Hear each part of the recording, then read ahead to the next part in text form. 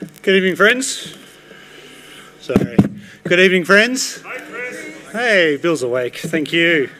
That man has a voice for radio, I tell you. Uh, friends, it's great to see you at church tonight. My name is Chris. I'm the Church at 6:30 minister. Uh, a very special welcome. I hope you're enjoying your time with us. If you could keep Acts chapter 3 open in front of you, we're going to spend some time thinking about what this means for us today. You see, as Chris has already helpfully said, so I'll just find Acts. As Chris has helpfully said, we're finishing our short series in the book of Acts tonight. Acts chapter 3 and 4 go together uh, as, a, uh, as a unit. That is, uh, Acts chapter 4 is events that closely follow and are the result of the acts of the, the events of chapter 3. So we're going to look at Acts chapter 3 and chapter 4 tonight. Um, and so, what I'm going to need you to do is keep your Bibles open in front of you. Um, all the, the verses that are in chapter 3 uh, will be in 3, then we'll jump into a little bit of chapter 4, and there'll be a few more verses on the slides next to us. Uh, these couple of weeks have been a great opportunity for us to be reminded of the mission of Jesus and that God's mission continues on earth today and that we have a part to play. That as Jesus filled his disciples with his Spirit and sent them with his saving message to the ends of the earth, he fills all believers with his Spirit and calls us to do the same.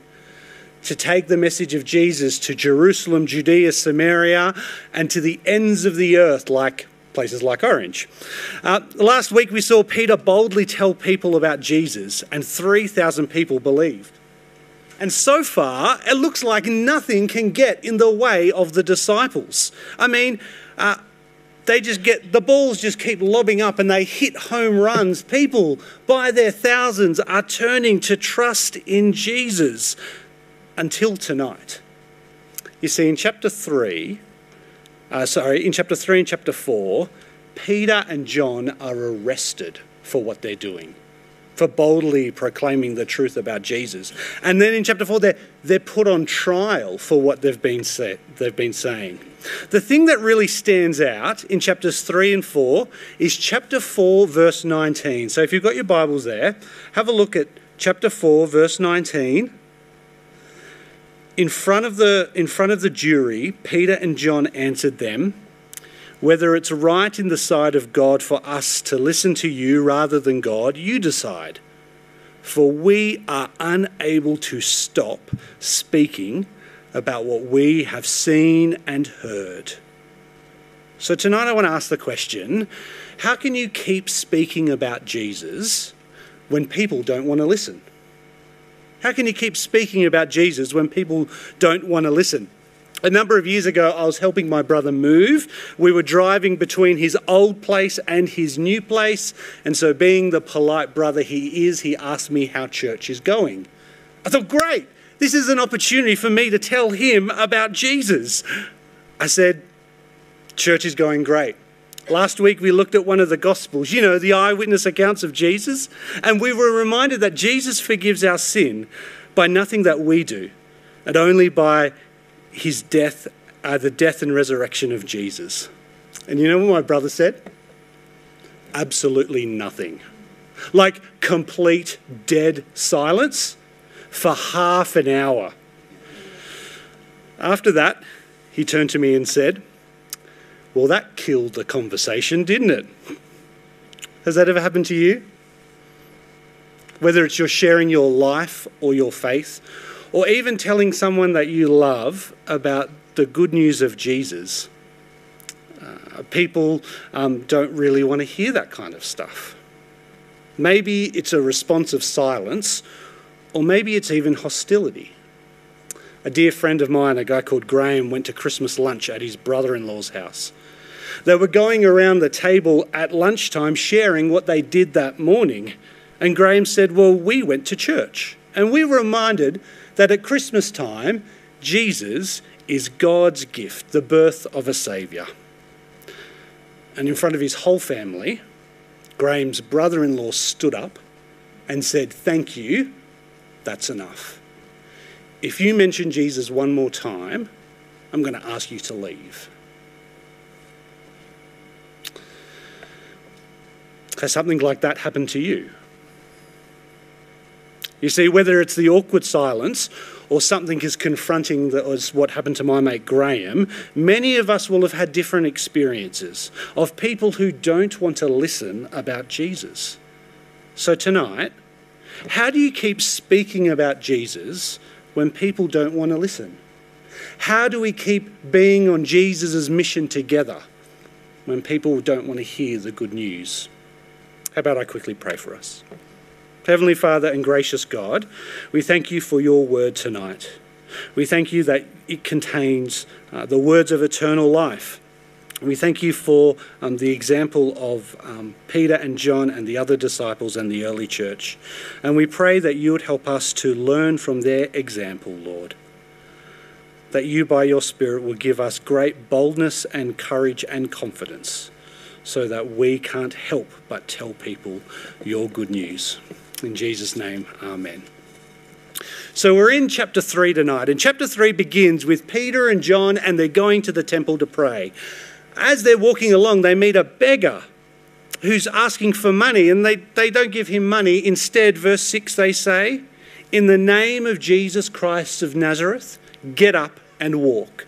And then something extraordinary happens. You see, muscles tendons and sinews grow and reform. Legs are strengthened. A man who probably never learned to walk, he walks, he leaps, he praises God. The risen Lord Jesus is at work through his spirit empowered disciples. And their ministry is a continuation of Jesus' ministry. So, just as Jesus uses signs to call people to repentance and faith, Peter does the same thing. He uses this opportunity to call a crowd of people in the temple to trust in Jesus. Have a look at verse 13 with me. Peter says this The God of Abraham, Isaac, and Jacob, the God of our ancestors, has glorified his servant Jesus, whom you handed over and denied before Pilate, though he had decided to release him. You see, Peter is in the temple speaking to fellow Israelites, and so he shares a very Jewish gospel. Uh, he mentions a bunches of words that, that would relate to the people who are listening. So he talks about God being the God of Abraham, the God of our ancestors. He then goes on to talk about Jesus as being the holy and righteous one. But in particular, it's the word servant that Peter wants his crowd to see. That's because 500 years before Jesus, God promised through the prophet Isaiah that God would send his servant into the world. He said this Yet it was the Lord's will to crush him, that's the servant, and cause him to suffer. And though the Lord makes his life and his life an offering for sin, he will see his offspring and prolong his days, and the will of the Lord will prosper in his hand. And after he has suffered, he will see the light of life and be satisfied. By his knowledge, my righteous servant will justify many, and he will bear their iniquities. You, see, Peter's crowd in the temple are devout Jewish people, and so they would know God's promises, particularly this promise that God gave to the prophet Isaiah that God promised to take away the frailty and failures of God's people and bring them to peace. And that they would know that God's servant will achieve these things by bearing their sins in his body. That God's innocent servant would stand in their place and receive shame and disgrace and rejection and ultimately death. The death that God's people deserved. Uh, and if you were to go home and to read Isaiah 52 and 53 tonight, you would see that it's all talking about things that point us to Jesus Christ. And Peter says to the crowd, This is what you did to God's Messiah. So, verse 13, he says, You handed him over. Verse 14, you denied him. Have a look at verse 15 with me. You killed the source of life, whom God raised from the dead we are witnesses of this. And by faith in his name, his name has made this man strong, whom you see and know. So the faith that comes through Jesus has given him this perfect health in front of you all. So, just as Isaiah promised that God would raise his servant from the dead, Peter says, verse 15, we are witnesses to this. Peter is saying that we together, both him and the crowd, witness to the resurrection because they see the power of Jesus at work in front of them. You see, this healing is a sign that Jesus is alive and still at work on earth. And just as Jesus healed people so that he could talk about repentance and faith, Peter uses this sign to call the crowd to repentance and faith. Have a look at verse 19. Therefore, repent and turn back so that your sins may be wiped out, that seasons of refreshing may come from the presence of the Lord, and that he may send Jesus, who's been appointed to you as the Messiah. So, in light of this truth, in light of this uncomfortable reality, in the light of their sin and their guilt before God, he calls them to repent, to turn back to God.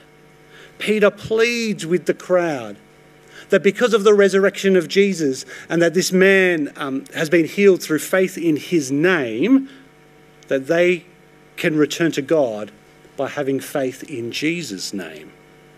He calls them to return, so to respond to the mercy of Jesus. You see, for this crowd in the temple, it's like they've caught a train, but they've missed their stop. When I was in Bible college, I used to catch a train um, home every day, and occasionally I would fall asleep, which is perfectly fine, right? As long as I woke up in time to change trains at a station called Blacktown. You see, if I didn't change trains at Blacktown, I would end up in Penrith. That's the furthest station on the right. Because what I needed to go to was Richmond, which is the furthest station kind of up in that top right corner. And one night I didn't wake up in time. I was supposed to be in Richmond, but ended up in Penrith. Uh, my wife Mel called me and she said, Where are you? I'm supposed to be picking you up at the station. I said, I'm in Penrith, an hour's drive away. And she said, Well, I'll see you when you get home. uh, so I jumped on the train, and because, you know, it wasn't as the crow flies, it was actually an hour and a half. You see, what I needed to do was to wake up, to see the signs, and to change trains. And Peter is urging the crowd to do the same. He's saying, Wake up and see the sign in front of you. Change your direction and return to God. So, friends, please do not miss what God is saying to us in His Word tonight. If you are someone who has been investigating about whether Jesus is someone worth following, uh, if you're someone who has been putting off turning to Jesus for the first time, or if you're someone who has been living your life without God in the picture, friends, can I plead with you tonight? To pull the emergency brake cord on the train of your life, to get off at the station and to change directions, to turn back to God and to repent of your sin so that you may be forgiven of your sin and have eternal life. So, what is the response to Peter's sermon? As Peter so clearly shares this gospel, if we jump back into Acts chapter 3, well, grab your Bible and have a look at uh, chapter 4, verse 1. Acts chapter 4, verse 1. While they were speaking, the people, the priests, and the captain of the temple police and the Sadducees confronted them because they were annoyed that they were teaching the people and proclaiming in Jesus the resurrection of the dead. So they seized them and took them into custody until the next day since it was already evening. But many of those who heard the message believed, and the number of men came to about 5,000. So, two responses. The number of believers grew to 5,000 people of that day. Hundreds of people heard Peter preach. They saw, uh, they heard him, they saw the sign, they, they heard the warning, and the Holy Spirit convicted of their heart and they turned and believed They repented and they put their trust in Jesus. Up to 5,000 people were added to the kingdom that day. Praise God. But sadly, the priests, the captains of the guard, and the Sadducees, they didn't like the idea of the resurrection. You see, the Sadducees didn't believe in the resurrection. That's why they're so sad, you see. Um, sorry, that joke. Uh, and so instead, they throw Peter and John into jail. Which brings us to our next point persecution. I guess the big question is why? I mean, why are Peter and John treated so harshly if they have such good news for people to hear? I think to understand why they're arrested, why they're opposed, why they face persecution, to understand that we need to go back to Luke's first volume, that is, his gospel. You see, in chapter 12 and chapter 1, uh, Jesus warns his disciples. Um, we're just going to look at chapter 21 tonight. I'll read this out. This is Jesus speaking. But before all these things, they will lay hands on you speaking about his disciples. They will lay hands on you and persecute you. They will hand you over to the synagogues and prisons, and you will be brought before kings and governors because of my name. This will give you an opportunity to bear witness. Therefore, make up in your minds not to prepare your defense ahead of time, for I will give you such words and a wisdom that none of your adversaries will be able to resist or contradict. You see, during Jesus' earthly ministry, he warned his disciples of what they would face in the future. As he sent them out of Jerusalem with his uh, mission to take the gospel to the ends of the earth, they will face opposition. They will face persecution. They will be brought before kings and governors, and they will be called to give a response. But Jesus calls them not to fear when this happens uh, for two reasons. First, they're not to fear that they will lose eternity. You see, if they um, are brought before the, if they're arrested and before, brought before these people, if they go on speaking about Jesus, they will lose belongings. They will lose relationships. They might even lose their life, but they will never lose their salvation. So they're not to be afraid that persecution would put their eternal salvation at risk. But second, they shouldn't fear because the Holy Spirit will give them words to say. That Jesus, by his, by his Spirit, will give them answers to questions, will give them words to speak, and the courage to say them. So they don't need to be afraid of speaking. You see, those who trust Jesus and follow um, and follow him will follow in his footsteps.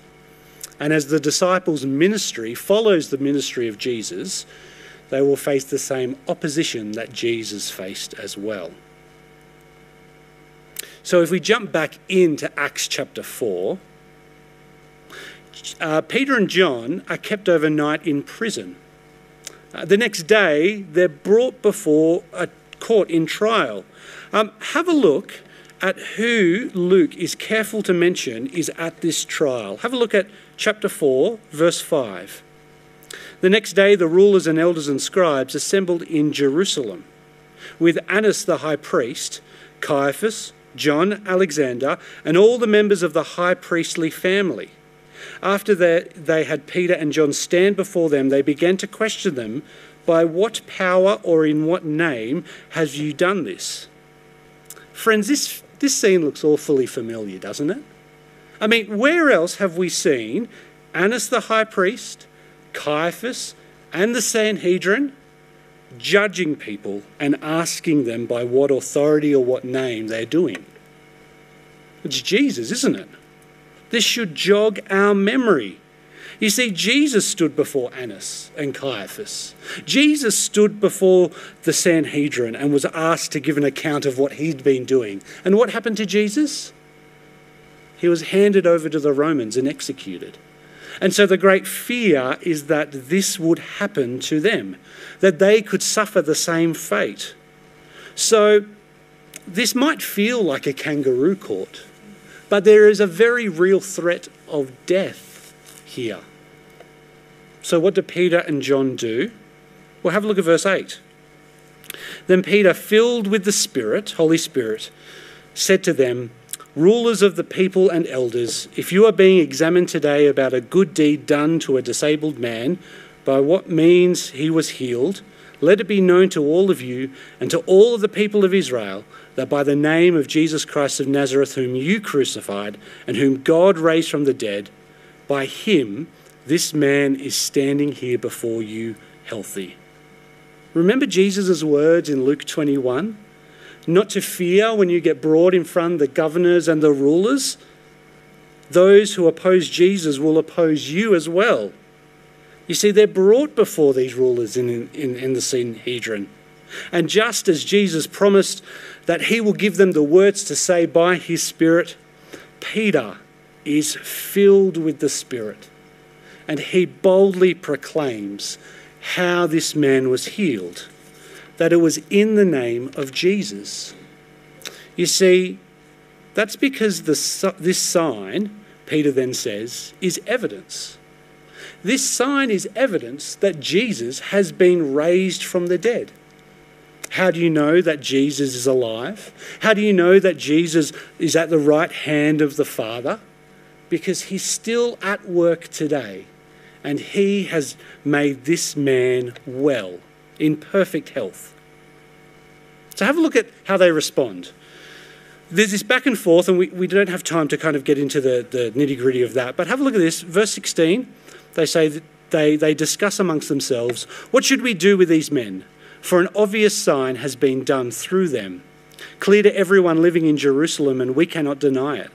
But so that this doesn't spread any further, let's threaten them against speaking to anyone in his name. In verse 13, the first sign is the boldness of Peter and John. The second is that they're uneducated. And the third, the most undeniable sign that you should listen to Peter and John, is that this man is healed. You see, even though they have the evidence in front of them, it hasn't even dawned on these leaders to accept the evidence. They refuse to admit their fault and they say they're wrong. It hasn't entered their minds because it hasn't entered their hearts. You see, they don't refuse to believe Jesus because of a lack of evidence. They refuse to believe because of their hard heart. And just like they silenced Jesus, they threaten to silence the disciples as well. But what do the disciples do? Verse 19 Peter and John answered them, Whether it's right in the sight of God for us to listen to you rather than to God, you decide for we are unable to stop speaking about what we have seen and heard. I've got a question for you. Turn to the person next to you. You know I love these questions. What do Peter and John mean?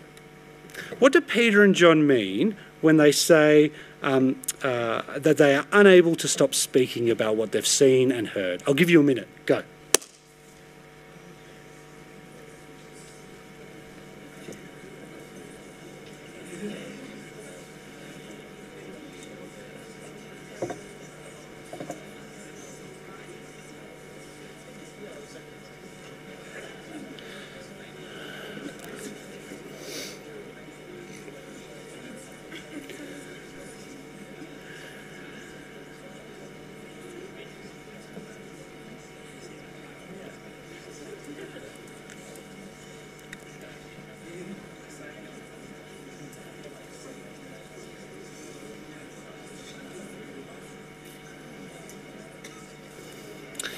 Okay, that's your minute.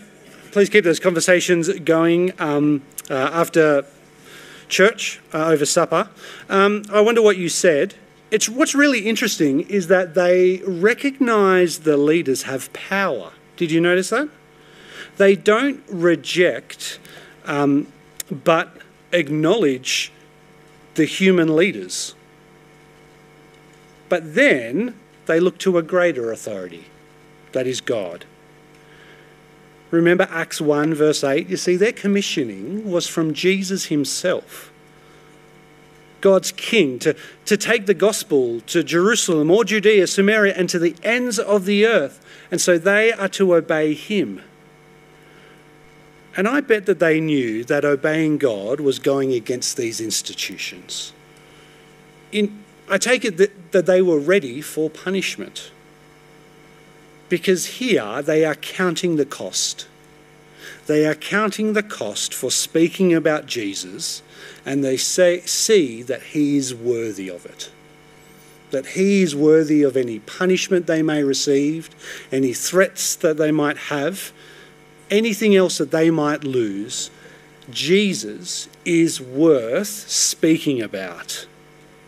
Why? Have a look at Acts 4, verse 12.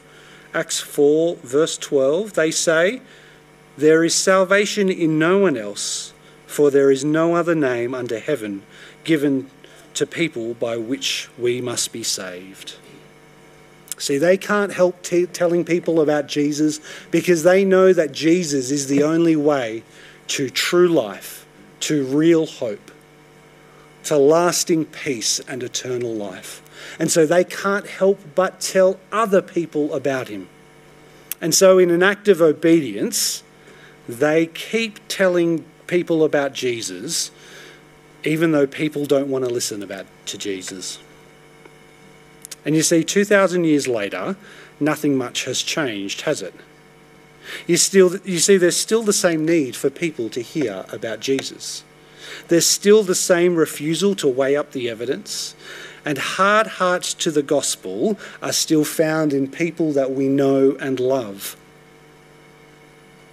And if Jesus is the only name by which people can be saved, then out of love, we must keep telling people about Jesus so they may be saved.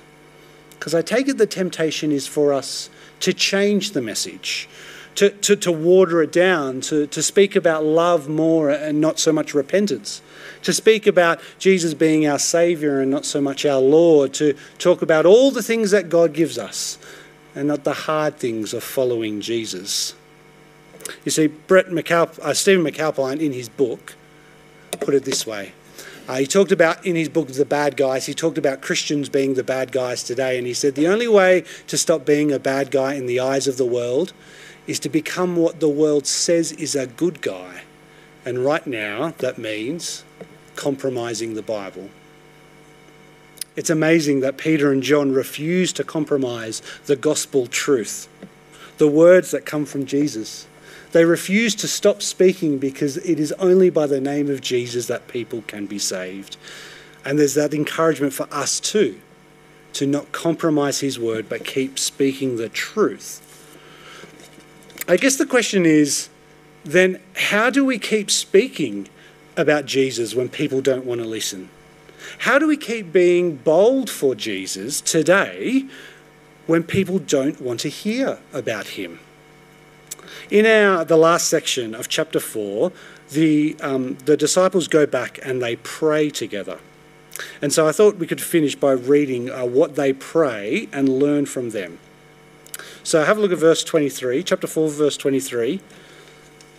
After they were released, they went to their own people and reported everything the chief priests and the elders had said to them.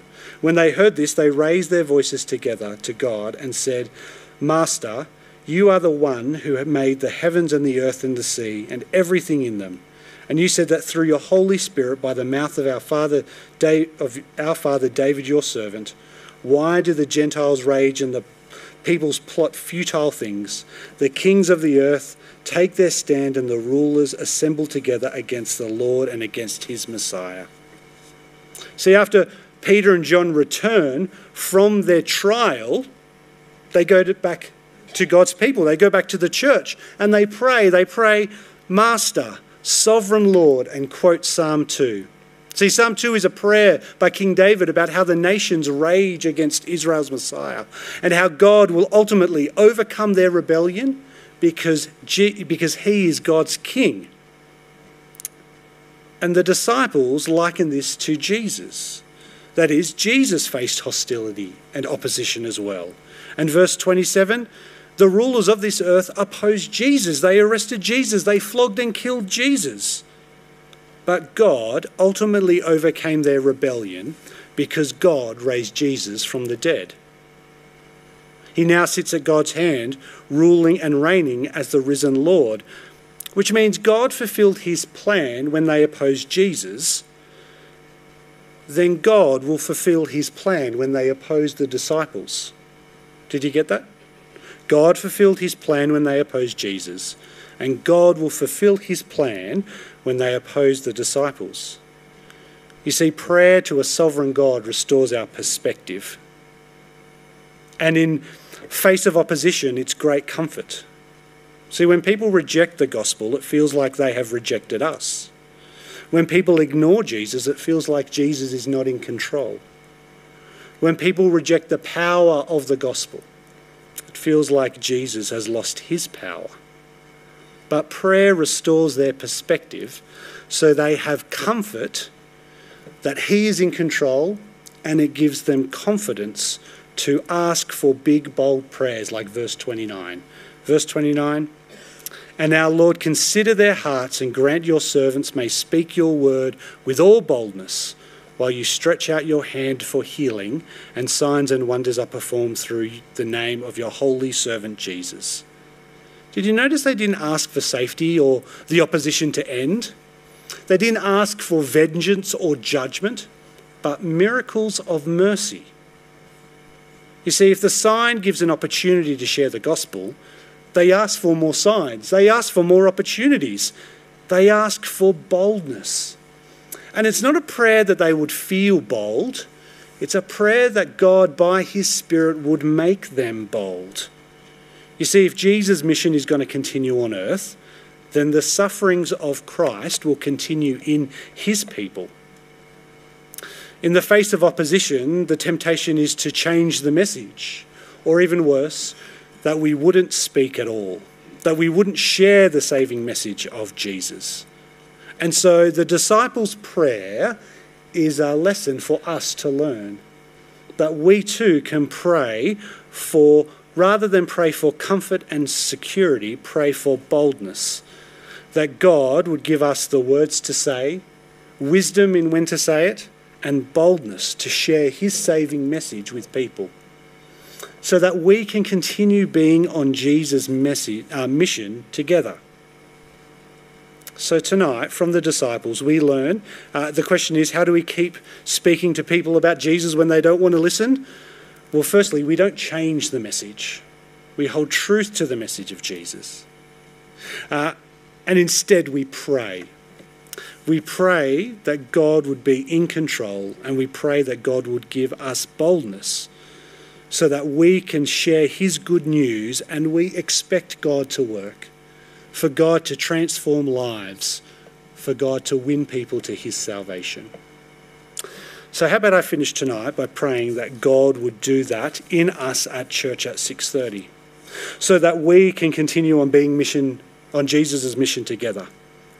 Now, I thought what I'd do is finish by praying actually the disciples' prayer for us. So please pray with me. Let's pray together. Master, you are the one who made the heavens and the earth and the sea and everything in them. You said through the Holy Spirit by the mouth of your father David, your servant, why do the Gentiles rage and the people plot futile things? The kings of the earth take their stand, and the rulers assemble together against the Lord and against his Messiah. For in fact, in this city, both Herod and Pontius Pilate, with the Gentiles and the people of Israel, assembled together against your holy servant Jesus, whom you anointed, to do whatever your hand and your will had predestined to take place. And now, Lord, consider their threats and grant that us, your servants, may speak your word with all boldness, while you stretch out your hand for healings and signs of wonders are performed through the name of your holy servant Jesus. And it's in his name that we pray. Amen.